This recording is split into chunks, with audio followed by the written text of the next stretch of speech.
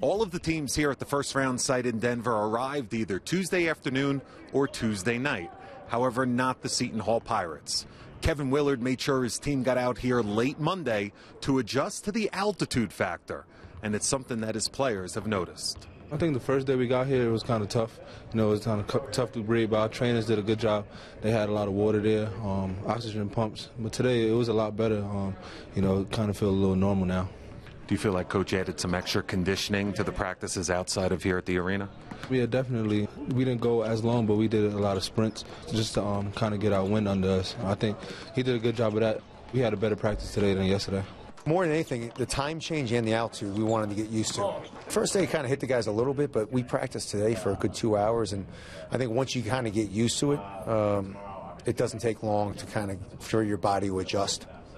Khadeen was talking about a better practice uh, than the day before. Was it more conditioning? What did you add?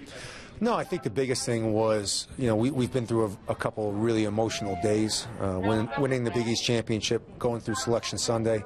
Uh, then we traveled Monday. So Tuesday's practice was a little bit more of kind of just a long travel day, kind of getting used to the altitude. Uh, today was more or less getting back to work, getting focused, and getting ready for a big game tomorrow. Besides the mandatory 45 minute practice here at the Pepsi Center, Seton Hall also practiced for nearly two hours at another location. Kevin Willard wants his team at optimum strength to face the 11 seeded Gonzaga Bulldogs. From Denver, Colorado this week in the first round of the NCAA tournament, I'm Vin Parise, SNY.